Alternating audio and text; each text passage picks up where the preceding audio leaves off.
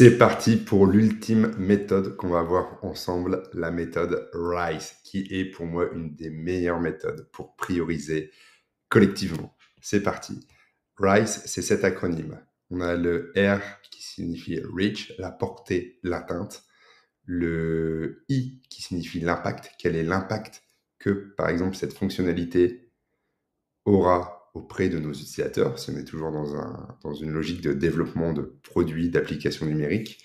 Le C, c'est la confiance, la confidence. Quelle est la confiance qu'on aura quant à la réalisation de cet item?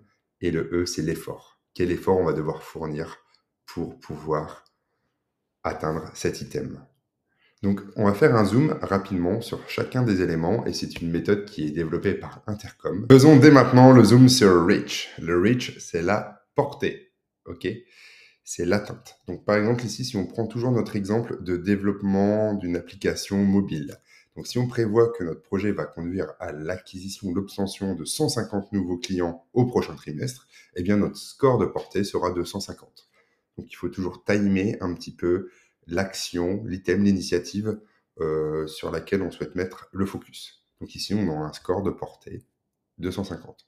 Deuxième exemple, supposons qu'on estime que notre application mobile va générer, enfin cette feature, cet item va générer 1200 nouveaux prospects sur notre page de téléchargement d'essai au cours du mois suivant, donc sur une période de un mois, et que 30% de ces prospects s'inscriront, votre score de portée est de 360, donc 30% des 1200. On aura une valeur numéraire pour notre R, notre reach, de 360.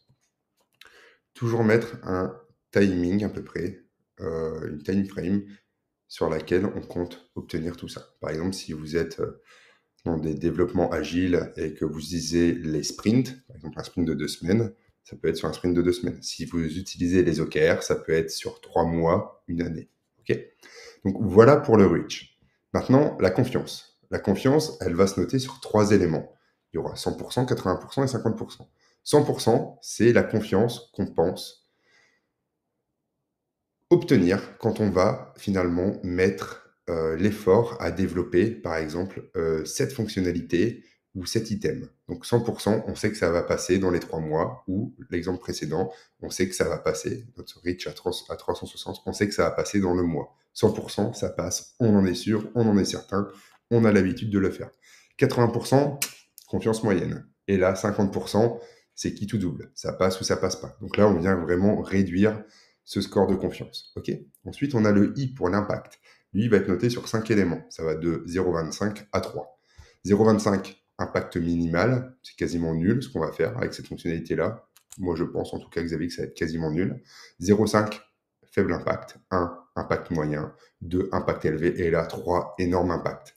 On sait que cette fonctionnalité-là va, finalement, ce, ces nouveaux téléchargements avec notre page de période d'essai, elle aura un gros impact et c'est un impact de 3, par exemple. Et ensuite, l'effort. Et eh bien ça, l'effort, c'est l'effort. C'est le nombre de personnes qui vont être nécessaires à la réalisation de cet item, de cette fonctionnalité. Par exemple, ici, on en a deux. Supposons que ce soit qu'on ait un product designer et un développeur, ou un développeur et finalement un QA, quelqu'un qui est là pour la qualité et les tests. Supposons qu'il nous faille deux personnes pendant un mois pour réaliser cette tâche, cet item, cette fonctionnalité eh bien, euh, ce sera un nombre de 2 pour effort. Une fois qu'on a eu tous ces nombres-là, eh bien, on les passe dans cette petite moulinette, cette petite fonction qui est le reach fois l'impact fois la confidence fois la confiance divisé par l'effort. Et ça vient nous donner un RICE score, un, score de RICE. Et c'est ça qui va nous permettre de prioriser et d'ordonner finalement euh, cette liste de fonctionnalités à faire dans l'ordre. Donc, on revient au tout début. Ça, c'est un Google Sheet que je vais vous partager. Ici, on a nos, par exemple, on a nos initiatives, on a nos fonctionnalités. On voit qu'on a notre score RICE ici, qui est de 800 pour la relance automatique de mail si le panier est abandonné. Un score de 675 ici pour l'autocomplétion du champ de recherche. Et là, un score de 400 qui est offrir 10 euros en parrainant ses amis. Et bien finalement, ce serait relance automatique de mail si panier abandonné qu'on devra faire parce qu'il y a un score de RICE beaucoup plus important. Ensuite, ça serait autocomplétion du champ de recherche et on finirait par offrir 10 euros en parrainant ses amis. Et puis, bien que offrir 10 euros par an à ses amis, elle pourrait atteindre 2000 personnes, par contre, l'impact est plus faible que les autres. La réalisation, bof, bof, et il faudrait 4 personnes pour développer cette fonctionnalité-là. donc c'est pas tip top.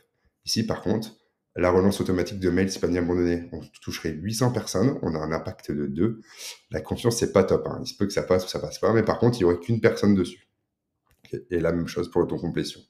Donc, vous voyez, ça vient ordonner via un calcul toutes ces données-là. Donc, moi, RICE, c'est une des méthodes que j'affectionne particulièrement parce qu'il vous faut de la donnée. Il faut aussi avoir une part de challenge avec cette partie de reach qui est super intéressante pour être challengé. Qu'est-ce qu'on souhaite obtenir? Donc ça, ça peut être guidé et drivé par vos key results si vous utilisez les OKR. Et si l'impact, quel est l'impact que cette fonctionnalité va avoir? Donc là, c'est plutôt de l'intuition, mais toujours drivé par la data. Et même chose, ici, on a une part un peu plus tech qui vient nous dire est-ce que ça passe, est-ce que ça passe pas, quelle serait l'équipe qu'on va devoir mettre dessus, quel nombre de personnes? Et ça, c'est super intéressant. Donc, je vous donne accès à ce Google Sheet-là dans la formation. Rice, pour moi, c'est super, c'est celui qui est le plus abouti et euh, franchement, utilisez-le. Donc, on arrive à la fin des six méthodes techniques et outils qui vous permettent de prioriser un ensemble d'items. Euh, on se retrouve tout de suite pour la conclusion et le débrief.